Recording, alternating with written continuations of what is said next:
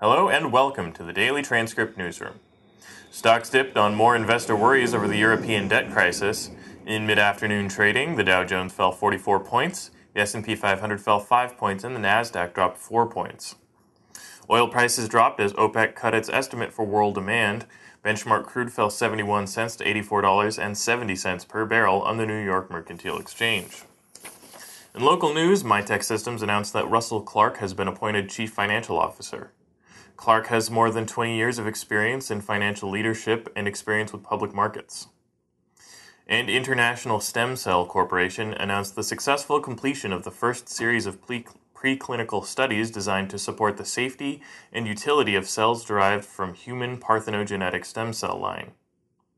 For complete coverage of these stories and more, please check back here throughout the day. I'm Jeff Terich, and thanks for clicking.